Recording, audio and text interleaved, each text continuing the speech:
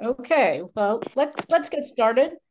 I'm Paula Kaufman, and I am the moderator for today's program. The first thing that I want to do is ask you to please mute yourself. Um, you can unmute yourself if you have a question to ask, but that won't come until after we've heard from our three panelists. Um, this is the first in this year's uh, monthly series called Keeping It Local. And um, this one is, as you know, because you're here, the changing role of libraries in preserving democracy.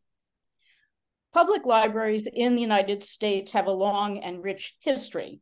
Since the first one was established in 1833 in New Hampshire, the growth of public libraries was fueled by a number of factors, including the belief that an educated citizenry was essential to a democracy to function effectively and public libraries were seen as a way to provide all citizens with access to information and knowledge, regardless of their financial means. Now, I think we all would agree that public libraries look a little different today than they did in the 19th century, but their mission continues to be to ensure equitable access to freedom and an open and welcoming gathering place.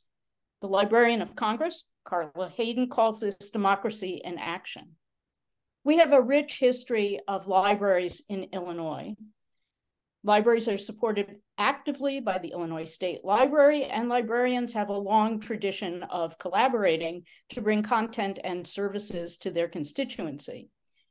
This evening, we're in for a treat. We're going to hear from the directors of three local public libraries who will tell us how public libraries continue to preserve and advance democracy.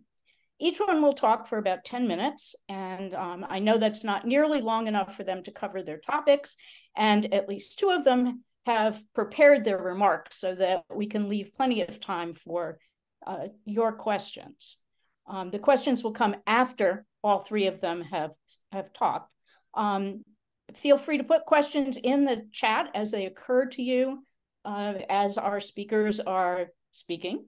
Um, and um, I will tell you that our speakers have collaborated as good colleagues to prepare tonight's program, so each is going to focus on a major topic. I'm now honored to introduce these three local leaders, and I'm going to tell you who they are and not much else about them in the order in which they're going to speak. Um, first, we'll hear from John Howard, Director of the Mahomet Public Library. Um, he'll be followed by Brittany Millington, director of the Champaign Public Library, and then Celeste Choate, the executive director of the Urbana Free Library, who will complete the, the presentations. So John, we'll start with you. Uh, thanks so much, Paula, and thanks for inviting us to be here. We librarians love to talk about our libraries, and we love to talk about why libraries exist and how we are, you know, carrying forth our mission today. So uh, in terms of our subject for today, uh, I think one of the one of the obvious ways that uh, libraries support democracy is in providing the resources that allow voters to be as informed as possible about the community and about the issues that guide their voting. Obviously, as you said just a minute ago, this starts with the fact that library resources are free to use for anyone, meaning that the right to be informed to be informed is not limited just to those who can afford to pay. And that is, I, I guarantee you, the three of us here all feel that everything we everything that we can possibly make for free is the way we do things. Now, for local elections, especially, we can also be a non-biased source of information for voters. You know that there's been studies done recently that that talk about people's confidence in the various types of government, and the one that has the highest trust level, of course, across all types of government is the public library. And I think we work really hard to maintain that by holding ourselves to really high ethical standards. Um, so uh, in Mahomet recently, we had a very hotly contested school board election. A lot of things being said in the community, a lot of things being said on Facebook, which is, of course, the last place you want to go for good information. Um, and so the Mahomet Library hosted a moderated panel for the candidates to the school board elections so that people could come and ask their own questions and hear right from the horse's mouth what the people believed in. We're always seeking new ways to get our local elected officials to the library or to find ways to connect people with our local elected officials. Um, I think we sometimes forget as citizens that we can talk directly to the people that we um, that we elect, especially at the local level. Um, so that's something we try to can, uh, foster those kind of connections. Now we can't do this for all candidates in an election, especially in a smaller community, but that is where we are happy to have the League of Women Voters on our side. Um, I'm not going to exaggerate when I say that when library patrons came in during the last election cycle saying, Where can I learn more about the candidates and what they stand for?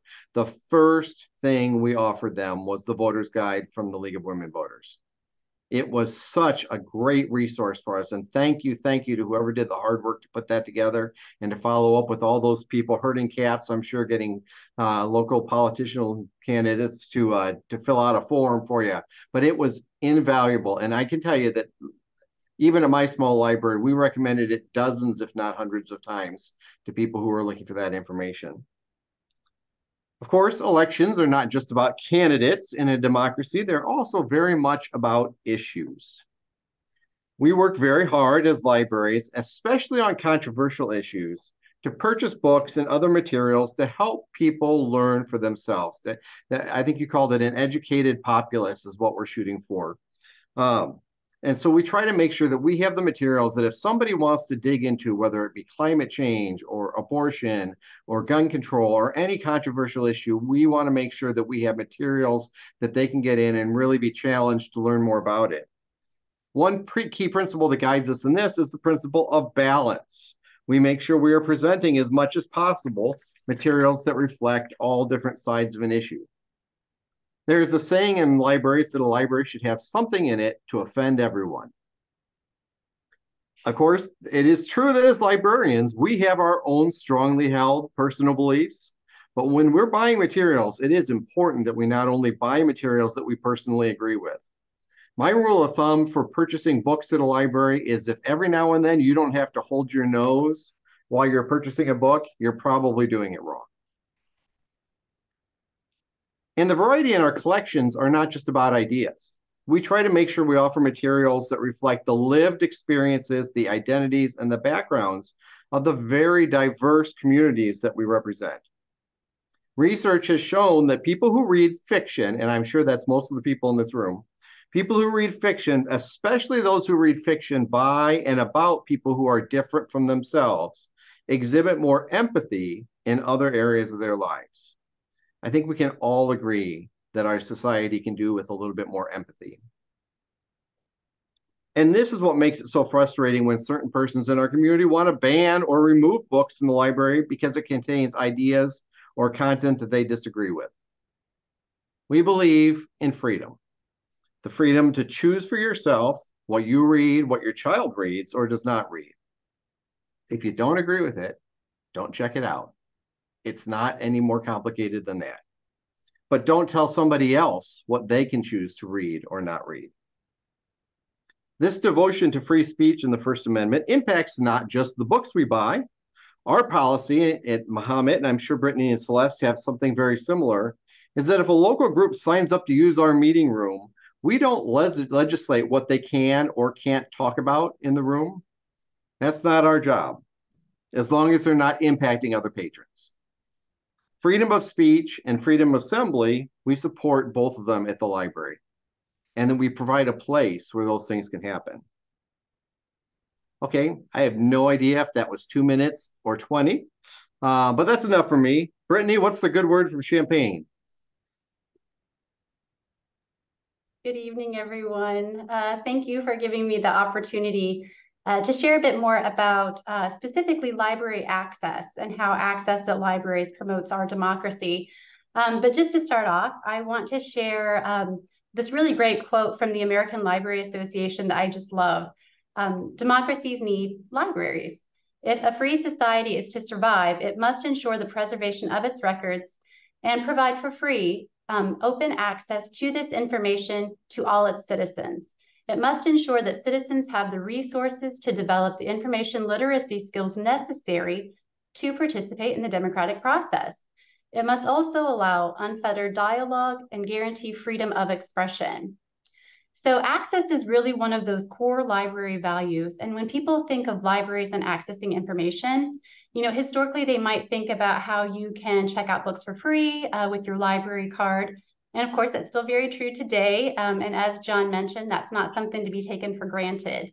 Um, but moving past that kind of long-standing example, um, I want to highlight how library access expanded in like the 1990s and early 2000s with that access to technology. Um, and that was a more extreme example of how libraries position themselves to adjust right alongside citizens to meet the demands of the rapidly changing world. So as we all know, the technology boom wasn't about just the ease of going online and being on social media.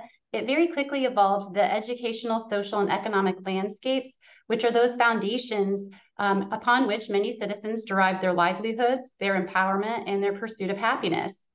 So the rapid rate of the technological advancement required a significant portion of the population to develop brand new technology skills to accomplish many of the things that they needed to do to be informed and to live their lives. So very quickly, citizens had to change, um, you know, how they applied for really important things like schools and jobs and benefits. And much of that needed to be done at their public library with access to the internet and a computer. And it was during that time that Many libraries developed technology classes to teach citizens how to use a mouse and keyboard or how to set up an email. And now, of course, you know, many of us have uh, devices in our homes or carry them around in our pockets. And even with the access to devices, you know, libraries uh, and many libraries circulate devices. Um, information desks continue to receive requests for vetted information. Uh, for example, when the pandemic hit, libraries were inundated with requests for how to utilize Zoom. Even those who are adept at technology reach out to libraries for curated content and vetted content because as we know, one of the amazing things about the internet is how much information is available and how quickly it can become overwhelming. So this is an area where I think libraries will really continue their work, especially as technology continues to significantly change our lifestyles every few years. Um, and more and more libraries are not just providing uh, resources for citizens to develop or advance their reading literacy skills, but also many other types of literacy, including, of course, the ever-changing technology literacy, uh, financial literacy, business literacy, and in the you know post-pandemic world, social literacy skills. So access is no longer just about those tangible items within the library, but also includes the educational opportunities and learning and social experiences available through the programs, workshops, and services. And I think it's here that libraries will really continue to flourish because it's pretty amazing to think that right now at local libraries, citizens can engage and connect for free while attending story times with their children.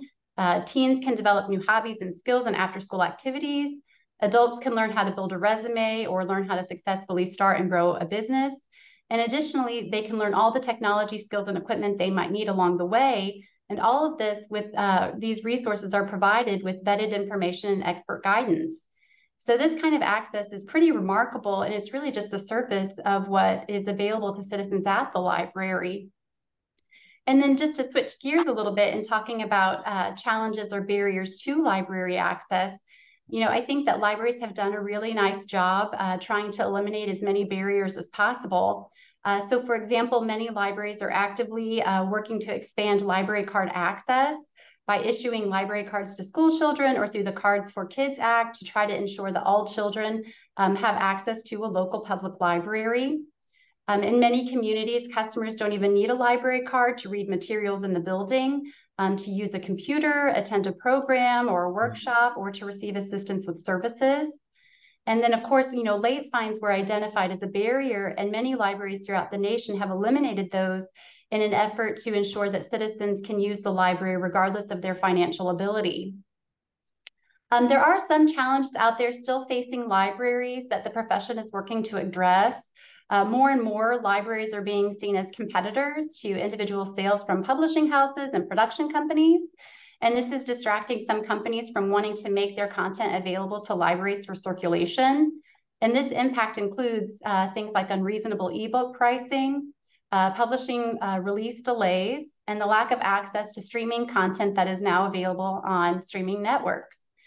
Um, but in conclusion, you know, even with those challenges facing libraries, uh, we'll continue to adjust and grow and expand and meet the needs of the community and continue the role of providing access Um, and I do want to share another great quote just to finish out from the late President Franklin Delano Roosevelt. Uh, I have an unshaken conviction that democracy can never be undermined if we maintain our library resources and a national intelligence capable of utilizing them. And so now off to Celeste. Can I just say we are such librarians? Because I also have a quote about libraries that is from Franklin D. Roosevelt. when you search for articles on public libraries and democracy, there are these quotes that are going to just keep popping up. So at least we have picked different quotes by these people, which is great. So in an article that was written by Rutgers from the university library, so got to give our shout out to university libraries and the important role they play as well. Um, libraries are essential to the functioning of a democratic society. Libraries are the great symbols of the freedom of the mind. And so I'm going to start um, my part of the conversation talking about the very tangible, literal way that libraries help their communities take part in the actual democratic voting process. So, you might have heard of organizations that work to help people get registered to vote. Maybe you've heard of such groups, um, the League of Women Voters, perhaps, um, When We All Vote, which has been popular with high school students. Um, get out the vote. There's organizations all across the country, and libraries are a great place to partner to set up your tables and to help encourage people to vote or register to vote either with you or to go home and register to vote.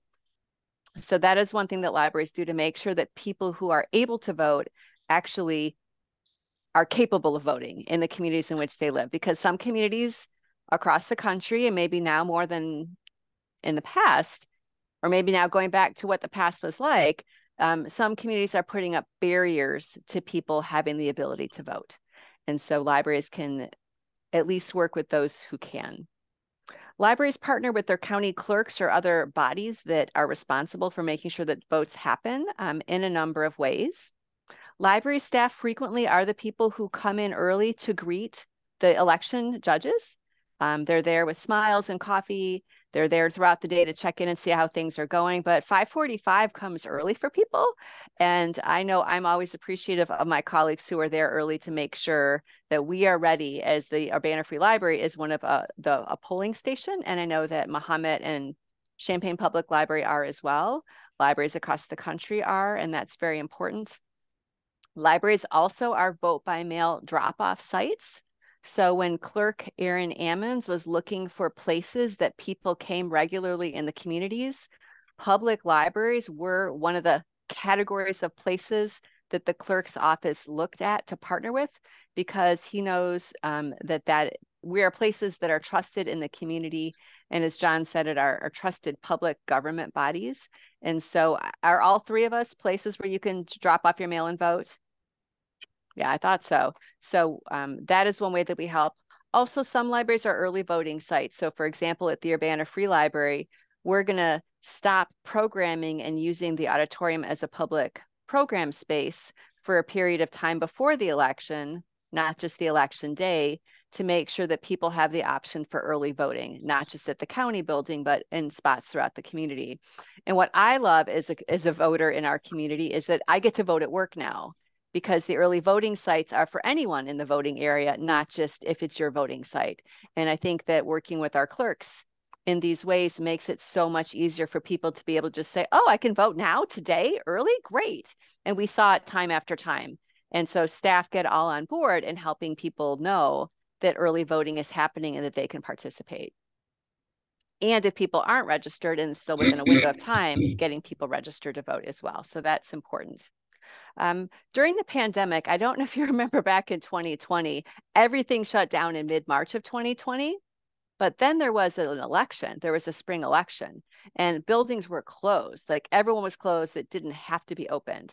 So the Urbana Free Library was closed to the public, but we opened for the election. And it took a little bit of finagling and it took, again, dedicated staff, dedicated election judges, but it was important to us to make sure that our community had the opportunity to have multiple places to vote because we didn't want to be around each other. Nobody knew what was happening. And I am proud of our staff for stepping up and saying, yes, this is important to us in our community, and we're going to do that. And we are not the only place. Public libraries across the country made sure that voting could happen during this very difficult, tricky, confusing time. So we are impacted as public libraries by voting as well. So for example, the Mahomet Public Library and other district libraries, their boards are voted in by community members. So aside from looking at the, the big governmental picture with the president and such, or even local with your city mayor, um, literally library boards are elected. And so we are impacted by the local process. And it is important that we pay attention to such things and we participate. Um, for city libraries like Champaign and Urbana, the city, um, the city mayor works with the city council to appoint and approve these appointments. And those people, the mayor and the city council members, are elected. So democracy directly impacts our work as people so it's important for us to be aware of that and to be working within our community, looking at it holistically and making sure that things are running smoothly in the democratic way. So we literally help people participate in, in democracy. Um, at a slightly higher level, when we think about um, like the 30,000 foot view, I, I, talk a lot with my hands, so I'm gonna just keep doing that thing. Um, the public library is a center for citizens. So as we've mentioned, an informed citizenry is one that can make informed choices. It is up to people to make their own choices to vote how they will vote, but it's important for us to know that people have the education and the background they need. And we've got some questions on the side about media literacy and disinformation.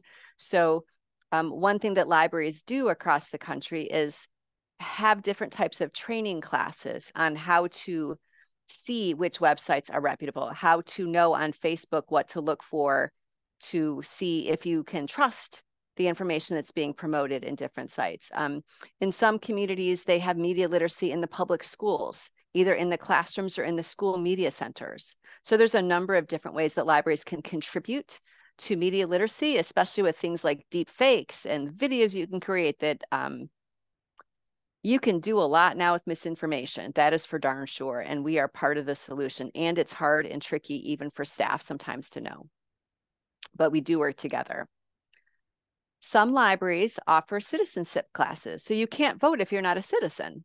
And um, the Los Angeles Public Library has an immigrant, sorry, immigrant integration initiative, and it educates people in the city's many immigrant communities about citizenship, and it's establishing its libraries as local citizenship information centers.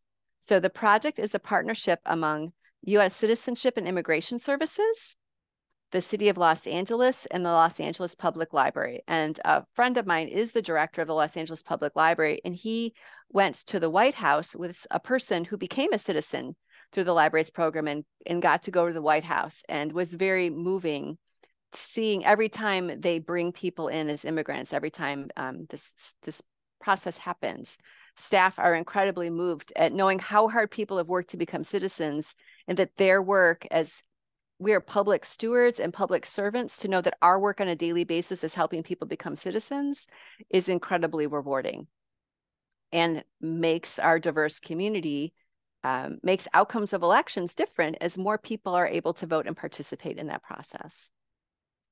Um, in addition public libraries help people get high school diplomas. So there is a project called career sorry there's a product that libraries pay for that's called Career Online High School. And in Illinois, there are different sections of the state as far as library service is covered. And there's a group called RAILS, Reaching Across Library Service, and uh, Reaching Across Illinois Library, sorry. And it is the top part of the state. And according to their website, more than 20 Illinois public libraries have participated in Career Online High School. And as of March 2023, 161 students in Illinois have earned their high school diplomas through the program. So again, people are more informed if they have their high school diplomas, they're more li likely to have success in life and they're able to make different decisions if they have more education than if they don't. Um, libraries regularly, like Brittany was talking about earlier, help people apply for jobs, whether it's teaching them the technology skills to do it themselves. A number of people don't have those skills and need to apply. Most positions take uh, online applications only at this point. At least that's what we are seeing.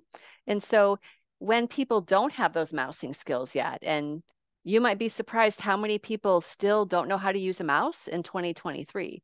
It is library staff who are patiently walking them through how to create an email account, how to do two factor authentication, how to, again, mouse, how to apply for the jobs. And we regularly have people coming back to tell us that they got that job. Um, some of these people, again, are immigrants. Some of the people are citizens of Urbana since their birth. And um, some people are illiterate. And one thing that public libraries do is help people that have reading or math challenges learn those different skills. So um, libraries in the area participate with Project Read, which is a grant through the state library in partnership with um, Parkland College that holds the grant and runs it. And so math and la language literacy are the skills that are taught. And I see Anna Merritt here on the call. And Anna has been volunteering with Project Read for how many years?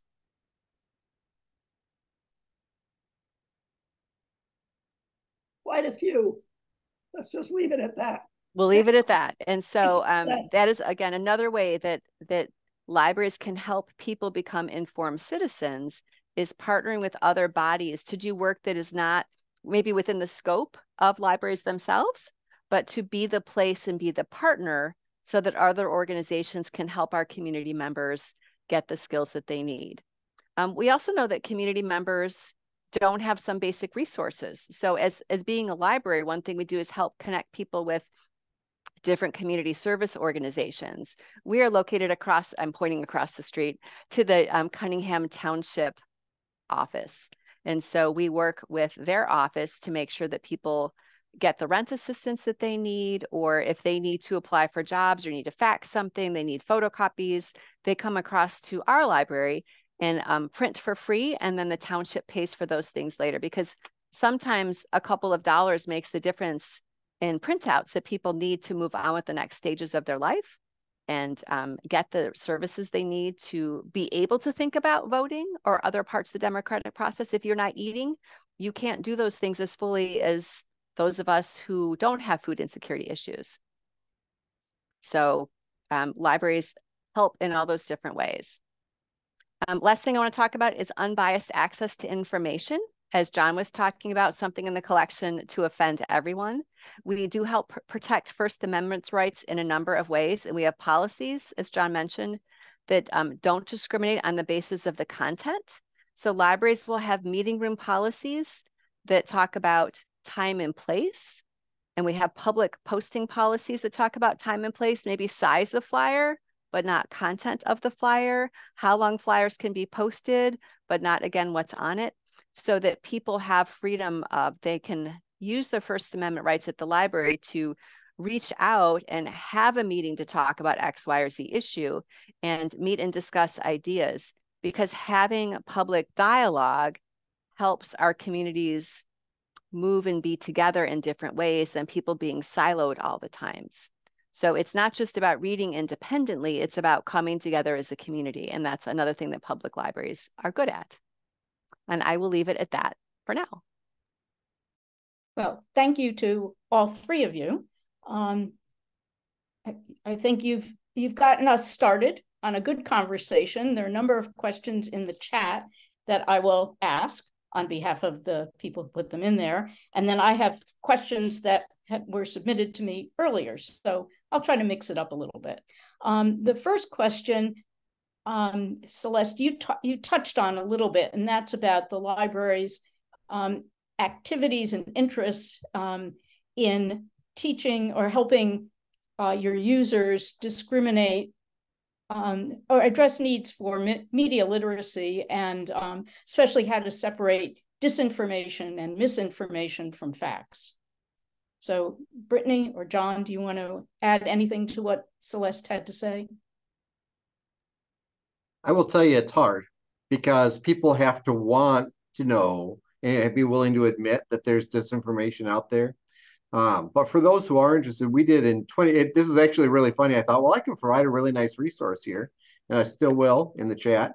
Um, in 2020, we recorded a program that was done on Zoom about how to do that very thing. How can you trust what you read um, or hear Um, and I thought, well, I wonder who the speaker for that was. Well, it turns out the speaker for it was Barbara Jones from the League of Women Voters, and I believe at the time a board member of the Urbana Free Library. Uh, but uh, that uh, you know, we've got. I, I, went ahead and put a link that uh, we've got a YouTube video of that presentation that we did for our group or for our people during an election year. Um, it's hard. It really, really is hard. We put that in our strategic plan uh, three years ago when we were working on a strategic plan. I put, you know, make the library the source of good, solid information. And then you realize how hard that is. We're in a in an age right now where people don't even want to admit that there's facts. There's no such thing as facts. It's only your opinion. So it's tough. Uh, and if Brittany knows the answer, I'd love to hear it. Um, for us, it's also though about when you know when we're choosing materials, you work very hard to choose materials that are written by people that have some knowledge and some you know you can prove that they have some knowledge and experience in the field and not just necessarily somebody who just wants to talk. So uh, I, I will say it's hard. I wish we were better at it. Brittany, any anything else? I won't. I won't you know, uh, expand too much on it because I agree with absolutely everything that John and Celeste mentioned. It is very difficult. It requires continuous training for staff as well. Um, again, identifying deep fakes, you know, new information that becomes available. Uh, it's something that we're consistently training on and uh, being thoughtful to. Uh, sometimes it means, you know, taking that step back and, um, you know, really evaluating what the customer is asking for, making sure that we're using vetted content and vetted resources because we are still that trusted source of information. And we want to maintain that position and um, it's just it's it's a never ending battle. It's definitely something that i think you know for the foreseeable future will probably continue to be a goal for all of us in our strategic plans. Thank you. Um, our next question i'll read. I live in a library desert hole. Consequently, I'm in favor of county-wide libraries. Do Champaign, Urbana, and Mahomet libraries have a position on this concept? Could one of you explain what a library desert hole is? In other words, why or how? I mean, let's start with a question Does everyone in Illinois have access to a library? Everyone in Illinois does not pay taxes for a library. And that is the issue. And the way our state is set up is it's based on local property tax funding. So other states um, tax for library service differently or fund it differently. So there are areas around all of us. Um, there are a number of people across the state. I forget the number, so I'm not going to make it. I'm not going to make one up, but it's a big number of people who in our state don't pay for or receive library service. The good news is, I think John mentioned it, um, that in public libraries, you can visit the library and you can attend programs and you can use the internet. The thing you primarily can't do is check out items, which also means the electronic books as well. But um, you can use the library in the building, which is a, a plus. You can also purchase a library card, and there are different formulas. It's in the law that we can't, public libraries can't just give library cards because people are paying taxes. And so um, each library board decides if they do want to offer the option for people to be able to purchase cards. And then there are a couple of formulas the boards are allowed to choose from um, in order to determine the cost of the library card. And so it is set up by the state how we are allowed to offer options. But I know the Urbana Free Library does offer options for people to purchase a card if they so choose, which again, in our case, matches um, taxes that taxpayers would be paying on an equivalent home in the city of Urbana. Brittany, I see you nodding. Yes, very similar at Champaign as well. And uh, we also are structured in that customers don't have to have a library card to come in and access the majority of services. It really is about if you would like to take items home. Um, if you don't have a child who is in, you know, uh, unit four, then of course you then have the option of purchasing a card, essentially.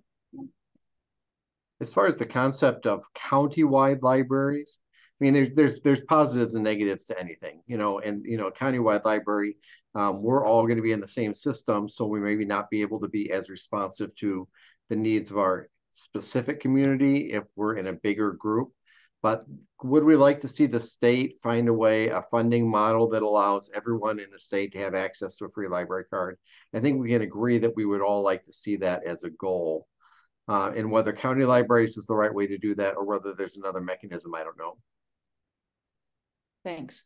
Um, we have a question about uh, stress in your jobs, but particularly or specifically related to um, efforts to ban books. Um, we also know that in the last couple of weeks, there have been threats to libraries, and I believe at least one of your libraries received a threat that was deemed a scam. Um, so could could you talk about um, the stress in your jobs and any efforts to that you've been or any stress you've been under because people want books banned? Uh, have, have, any of you experienced any efforts to to ban books or other materials from your libraries? I'll start briefly. We have not had any structured efforts to ban anything at our library, so I'm very grateful to the citizens of Mahomet for that. Um, honestly, it was more stressful when people wanted to fight with us about masks during COVID. but you know, we're always I I don't know, but I bet I bet you if you ask Brittany and Celeste, they have done a lot of preparation and spent a lot of time being ready for when those book censorship uh, challenges come our way. So I think we've all put time into preparing for it at least. Brittany? Yeah, I can just share. Um, you know, the Champaign Public Library specifically has had uh, for many years a really strong um, material selection process and policy um, that you know very specifically outlines how um, a community member um, can you know raise their concern, the the path and the steps that they can take to have that concern um, examined or reviewed, and um, we're very explicit in that we don't censor content. Uh, based on someone's opinion about controversial nature of material. So ultimately, we we have not experienced any coordinated efforts that I'm aware of. Um, so it that's been fantastic, but I do think that that's because we've had a strong policy for such a long time. Uh, we've made recent adjustments to it, um, including that we will only um, uh, evaluate those concerns made by uh, residents of Champaign. And I think that that's important because sometimes you're seeing coordinated efforts in areas that are not necessarily your service area uh, which I think is an interesting component to the book bans. But ultimately, um, we've not seen that here. In terms of you know uh, broader issues like threats to libraries generally, um, I think one of the things that has really been um, helpful for us as a profession is that we are, you know, sharing information with each other. So a lot of that comes down to um, sharing information with staff, uh, making sure that people feel prepared in process and in procedure uh, to be able to address concerns so that everyone feels that they are empowered uh, with how to respond to unfortunate incidents like threats to libraries. And I think that that's made a big difference for us because, you know, we we know we can't control a lot of these things. And yes, they're very unfortunate. And of course, we'd like to see those resolved. But in the meantime, uh, doing all that we can to make sure that staff and customers know that safety is our priority and we'll do what we absolutely need to do to make sure that um, we've we've got the process and the procedures in place so everyone feels empowered when one of those scary situations does arise. So I'm going to speak briefly about a library in Michigan because we're not just talking about our libraries, we're talking about libraries writ large. So there is a library in Michigan in the city of um, Patmos, P-A-T-M-O-S.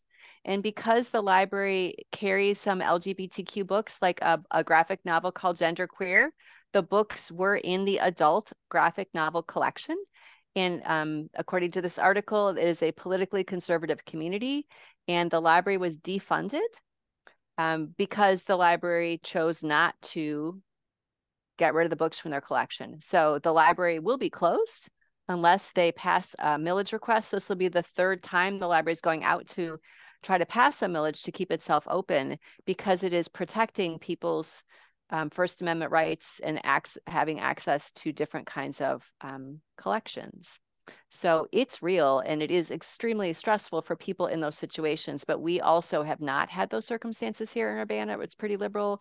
Um, in some places where, where there are um, drag queen story hours, which we have had successfully for a period of years. They're well attended by people who are interested in those events. And for people who are not interested, like John talked about books, If it's if you don't want the book for your family, don't check it out for your family. And if you don't want to attend certain programs on whatever topic, conservative or liberal, then don't attend them. But libraries offer these. But in places across the country, libraries, library staff, people are losing their jobs, funding. It's it's a hard time to be defending the First Amendment. Um, but it is part of what we do as public servants in libraries. It is important to us to uphold First Amendment rights. But yeah, so not stressful here, but writ large, yes, absolutely. Could one of you explain what the new book banning law is in Illinois, the protection for libraries? Brittany, I'll call on you. Sure. So um, I, I, don't claim to be an expert, but um, to the best of my knowledge, um, the law, um, I think, uh, as long as libraries um, adopt either, I want to say it's a policy how, that was drafted. Um, Celeste, you can help me out with this if I'm wrong, but a policy that was drafted that um, indicates that libraries will not ban materials based on, I think, um, ideology, and I think there are a couple of other components. As long as they do that, they can continue to receive uh, state funding. Um, so, I mean, our library was in compliance, you know, of course, by having our material selection policy. But I think ultimately the goal is to make sure that libraries are not um, put in a position of banning materials. Um, it kind of gives uh, you know a little bit of wherewithal that you know the, the boards will have to consider. If you're banning materials then you may not receive uh, funding from this the state such as like per capita funding which has a pretty big impact i think for most of us. So and celeste please feel free to jump in if i if i got that a little bit off no, that sounds pretty. I was just googling to get the exact the exact parts, but in part, um, adopting the American Library Association's um, freedom to read and Library Bill of Rights is is part of what is in what can make it legal for libraries. Who will be penalized if they uh, if they ban or restrict materials because of partisan or doctrinal disapproval, and they will be ineligible for state funding. And so, for our library, that's about fifty six thousand dollars a year. So that's a person in benefits, that's a lot of library books or DVDs or whatnot. So state funding is important to libraries. And so this is definitely, um, it helps library boards be strong when community members, or as Brittany mentioned, non community members rally around a cause to cause change in a community that might not even be theirs. And I think that's another thing libraries are seeing is that outside groups are coming in to stir the pot. So your local community might be just fine with what you're doing, but outside groups are coming in that are paid to cause change and to swing elections. Um, a number of libraries don't get their millages passed because outside groups come in and don't want they don't want libraries to expand or build or or what have you. So it's trying times. Yeah, and I, I will comment a little bit on that. It's not limited to public libraries. Uh, when I was the dean of the libraries at the University of Tennessee in Knoxville, we had a group from Chattanooga who came in um, and uh, took books off the shelf. I mean, they borrowed the books and never returned them in order to keep them from being used. So uh, the the trying times are not new to us. They're just they seem to be accelerated or deepening these days. Um, Can I put in a plug for another event that's happening with um, Banned Books Week? Uh, the sure. ACLU is having a program this weekend. Which thank you. Um, I was go- I was going. Great, then you do it at the at the end. Well, we'll save it for the end. Um, we have a question with a, a sort of different twist to it. Public libraries across the country are beginning to hire social workers or social service staff to help connect patrons with appropriate resources and take the burden off traditional library staff. Is that something that any of you are considering? So we actually had a group of students from the U of I who did a, a semester-long study with us to try to look at what some options might be possible. Uh, you know, I think all of us see, uh, and, uh, and usually in the bigger cities, you see it more often. People who come in with just a variety of needs that are um, and, and, you know, we want people to come to the library when they need the answer to a question. But if the answer to the question is, you know, if the if the question is, I don't have any food, the answer is, you, know, we're not going to be able to give them food. We don't check out food, um, and so you know, I think we we looked pretty hard into this. We met with a social worker who's on our Friends of the Library board, um, and we're still pursuing a variety of different possibilities with that. Um, uh, so uh, the need is not as strong in my community. It's just a more affluent community, so we don't see it as often. Um, but I think um, because uh, what we did do, that student group created for us a very strong um, guide to literally all of the resources that they could find um, in the Champaign, Urbana uh, metro area. And so at the very least, we have the question to where do I go for help? We have a good resource for answering that question now. Thanks. Uh, Brittany or Celeste, yeah, I can just add in, we also operate more on a referral basis. And um, I think a big part of that is making sure that we're in regular contact with our, our community partners. And that's worked out pretty nicely. As John mentioned, you know, we are we are trained librarians. There are definitely folks out there who are better equipped in a myriad of ways to handle some of these challenges. And so it's been pretty fantastic that we're able to um, be in touch very regularly. Um, make sure that we have up to date resources of where we're um, educating customers to go, whether they're meeting here at the library to, you know, to start their initial transactions and things like that. That might be one thing. Uh, we certainly do see, you know, different types of behaviors that might be indicative of the need of social um, services. And again, you know, we try to have those conversations with customers or community members when we need to, and and do our best to make sure that uh, we're staying in contact with. Uh, with the individuals at service agencies to see how you know the the partnership is working and going both ways. But that's actually been pretty successful for us here. Um, you know not to say that it's not successful for other libraries who do employ social workers but um, our method and model has seemed to work. Okay well i have a question that was submitted before the program started what are the biggest changes in how your library is used by families, especially by children and teens, in the past few years? And how important is your library as a third place, a place that ranks only behind home and workplace to your customers? I think Brittany should go first. I didn't want to. I didn't want to jump right in, but yes. Um, so I think one of the things that's pretty unique about the Champaign Public Library is that, in part due to the proximity of the uh, middle school right next door, um, every day after school, we see almost uh, 200 teens who want to spend a couple of hours after school at the library, which I just want to emphasize how absolutely phenomenal that is.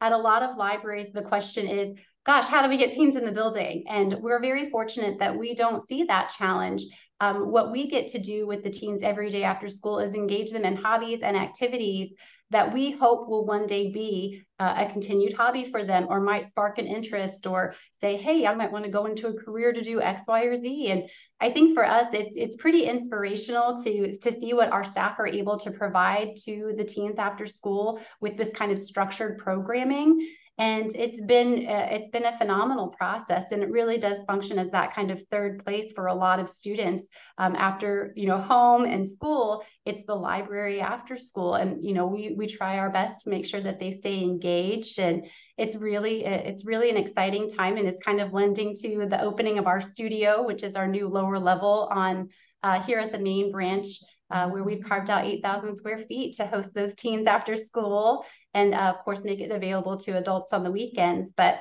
um, I think it's been it's been very exciting and uh, not just with teens. I would also say with young uh, children and families, we are the third place for a lot of those folks too, because we're one of the very few places, and this is libraries in general, um, where you can spend time as a family at story time or in a play area and you don't have to spend money. You know, parents don't have to buy a coffee or continue to buy a coffee or treats and things like that to be able to spend time there. Um, you know, many families, especially if they're new to the area, utilize the library as the first place of contact to try to build relationships and friends.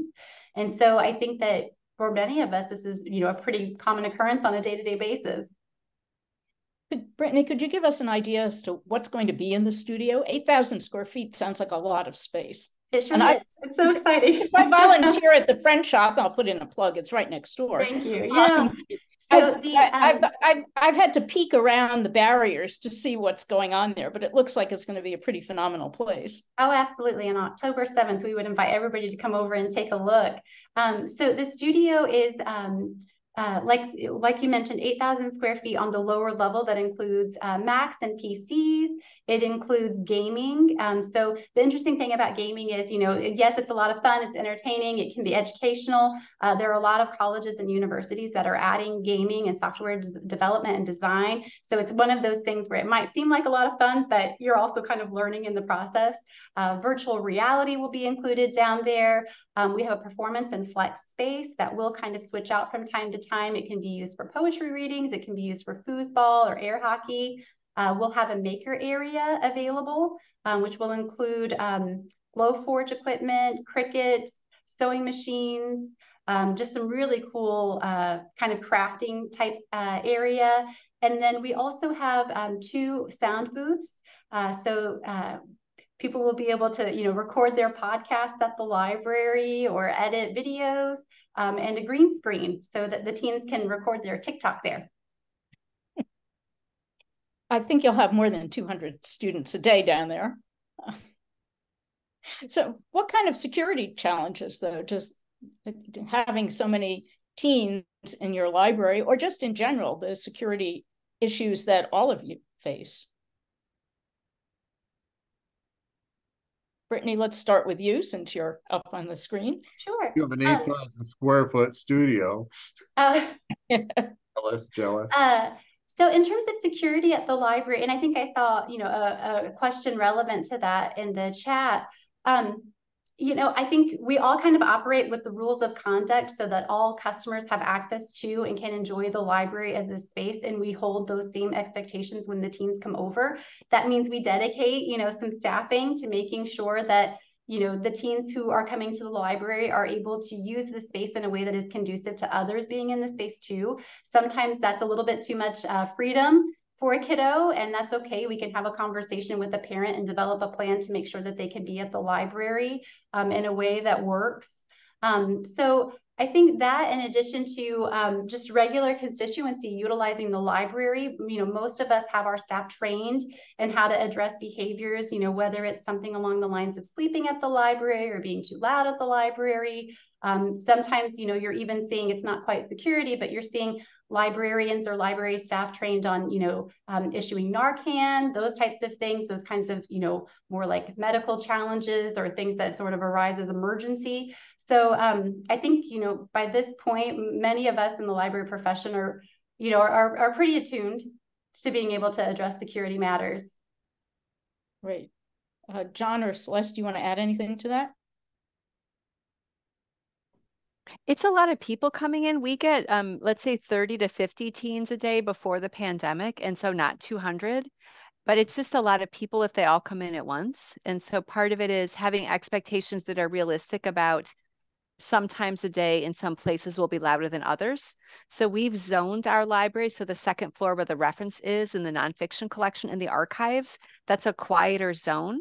Whereas on the main floor where we used to have a cafe, um, that was a louder zone, or the children's area is by default going to be a louder zone because we encourage people to have to read aloud and sit on the furniture with their kids and read and have a good time and play with the interactive toys because we know talking, reading, sitting, uh, talking and reading, reading and singing, those are part of um, literacy learning elements that that we have with kids. So partly being realistic about what is capable of happening in a particular space and then being consistent, like Brittany said, with the rules of behavior has helped everyone know what to expect. So some places will be quiet and some places are not going to be quiet just because of the nature of the work that's happening there. Mm-hmm. And that that has helped. Okay, I think we have time for one last question. Um, and that is, what questions would you like to see voters address to candidates? Questions about the role of public libraries and the issues that you've discussed this evening you know, I think that, you know, it's a good start start with the uh, legislator and their governor supporting, you know, trying to protect the library from the book banning that we see in other places. Um, we always would like to see more state funding. I think the question earlier, um, you know, that related to the 60% of the land in Illinois that does not have library service attached to it is something that's a great question for our state politicians. Um, and a third thing, we haven't, uh, somebody referenced it just very briefly. Um, no one's really been totally successful with this, but some states have begun to work on some uh, laws regarding publishers that are being, I would say, predatory in terms of what they charge for electronic books for libraries. Um, and I know this that our state does have some legislation in a pipeline on that. Um, you know, we don't want the publishers to give us books for free. We know they need to earn some money, but to charge $65 per copy for an electronic version that costs them $0 and zero cents to produce uh, for an additional copy is is really taking advantage of the public libraries. And like all these kind of things, who are the people who primarily get their books from the public library? They're the people who have less resources. They're the people who are more likely to be poor. You know, the rich can go on uh, can go on Audible and get all the audiobooks they want, or they can go to Amazon and download them for their Kindle. But the poor, you know, really get what they need from the library. And the publishers are making it extremely hard for libraries to provide electronic content. Um, and it's something that I don't think it's it's going to change unless our governor our governing people uh, kind of put themselves into the the equation. Brittany, anything to add?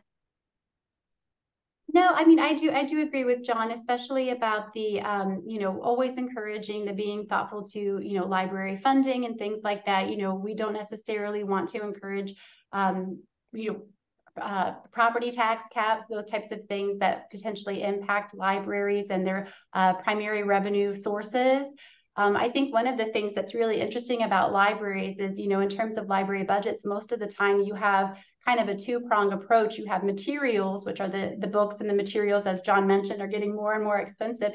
And then you have the staffing, the folks who provide those resources and services who are teaching, you know, classes about technology and, and developing a business and uh, getting a job, all of those types of things um, take really, you know, well-trained, strong staff. And so when you're looking at libraries and their two primary uh, expenses being materials and personnel, we really do want to make sure that that um, that our revenue sources are secure.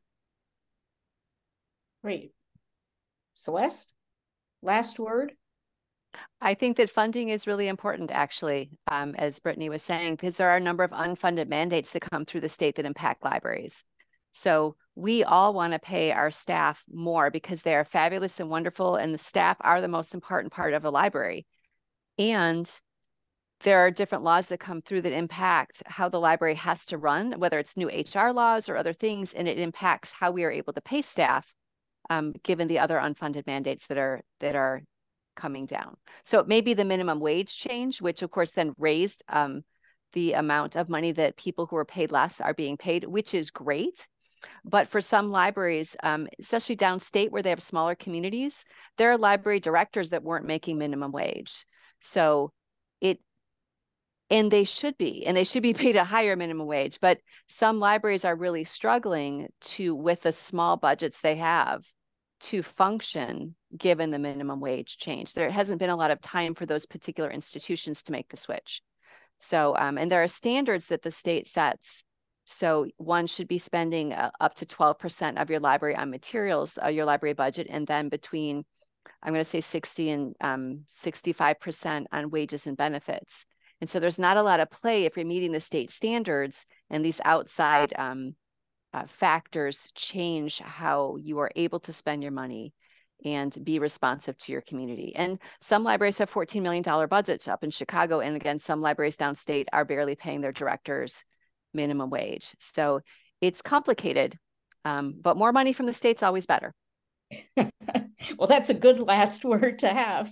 Um, before I thank our three panelists, um, I, I want to follow up on Celeste's reminder that the uh, ACLU of Illinois and Champaign County um, are on Sunday, October 1st, um, holding a program called Beyond the Pages, Defending Your Right to Learn. It runs from 1.30 to 3.30 at the Unitarian Universalist Church of Urbana-Champaign, which is at 309 West Green Street in Urbana. So I hope that many of you will have the opportunity to uh, continue this conversation uh, relating to First Amendment issues and um, we'll be able to join our colleagues at the ACLU on Sunday, October 1st, this Sunday, October 1st. So I hope you will join me in thanking John Howard, Brittany Millington, and Celeste Choate, who gave us a very thoughtful and um, thought-provoking and energetic uh, discussion this evening. So thank you all.